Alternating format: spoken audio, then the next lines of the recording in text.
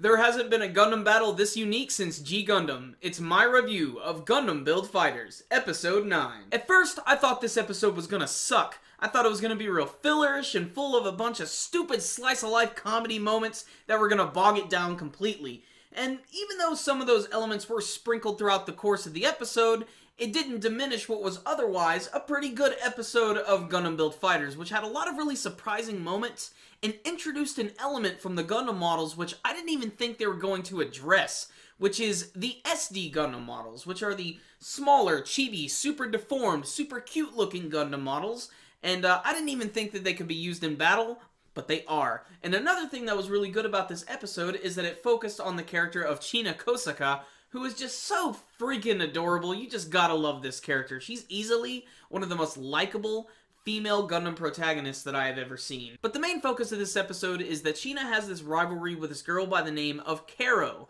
Make sure and call her Caro, not Caroline, because she's kind of a bitch. Caro wants nothing more than to defeat China in pretty much everything and compete in everything, whether it be in their artistic abilities or even gunpla battling, and that basically gives us an excuse for these two to have a gunpla battle. Uh, but what's really cool about this episode is, yes, it does focus on China, but her main focus of the story is trying to get Sei out of this, like, weird funk that he's in, because he's sort of hit the wall and he's come out of ideas for what to do with his Gunpla model, and because of that, he's going to get involved with China and help her build her Beargguy, which is a very strange Gundam to say the least. You know, I don't know much about the Beargguy. I don't know if it's like a promotional Gunpla that they released years ago, or if it's based off of some sort of manga spinoff. All I know is it's a giant robotic teddy bear that has lasers of death. Just seems perfect for China, doesn't it? Eventually, Caro challenges China to a gunpla battle. She actually invites her to this tournament, which is an all-female tournament, and this is a great excuse for more fan service. I literally squealed with joy when I saw this one chick who looked just like Allenby from G Gundam, and she's even using the same exact Gundam, which is fantastic. Even though the battle is very short-lived, and I can't believe it got defeated by the Beargguy, it was still honestly pretty cool to see that in the first place. And just, it's amazing how they even kept like the animation style for that cameo character. I just thought that was really well done. But finally, it does get to the moment we've all been waiting for, which is China versus Caro, and Caro's mobile suit is really what sort of stole the show for me. It's an SD Gundam of the Knight Gundam. And the minute you see it, it just looks great. And I don't know if maybe just because of the way it looks, but the animation style that they used for it is really appealing to the eyes. And honestly, I wouldn't mind seeing a whole series like that if they manage to take it even somewhat seriously. I know that there's been like a lot of other like SD Gundam spin-offs like the manga, and even there was that one computer generated show they had years ago. I didn't really care for that one. They even aired it on Toonami too. The battle itself is really intense, and you're probably wondering how come Caro can actually use Gunpla so well? Who taught her? Well, actually, she's being taught by Nils Nielsen, the character who was introduced in the last episode, and this is just another great way to introduce his character and show his skills. And he's even pretty impressed by some of the stuff that China pulls off in the battle.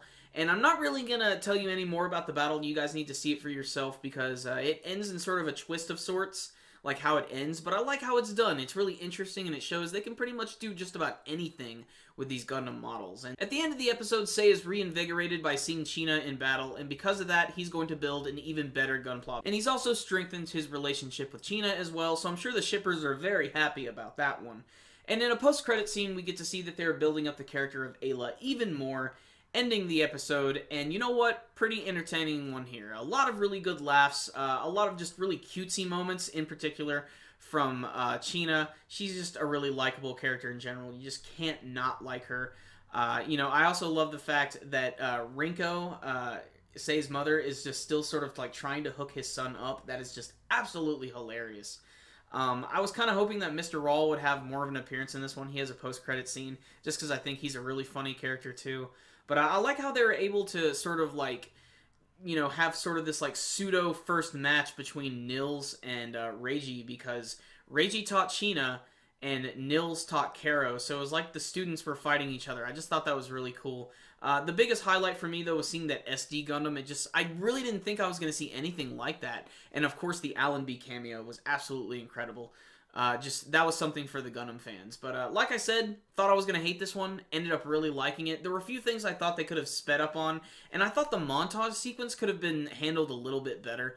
Uh, I noticed that they used the opening theme, uh, Nibun no Ichi, which is actually a really, really catchy opening, and I actually really love the opening of the series a lot, but I don't think it worked too well in the montage sequence, and uh, it kind of reminded me of the montage sequence from Gundam Age, but uh, that's a story for another day.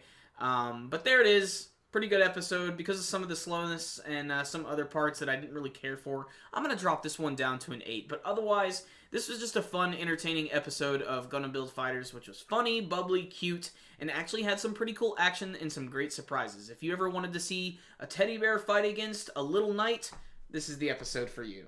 So you guys have my thoughts on this week's episode of Gundam Build Fighters, but what about you guys? How did you feel about this week's episode? You can let me know about it with your comments below. Remember guys, before you leave, make sure and give this video a thumbs up. Absolutely one of the best ways to support our videos. So, I will see you next time guys. Super Kami Guru 9000. Out.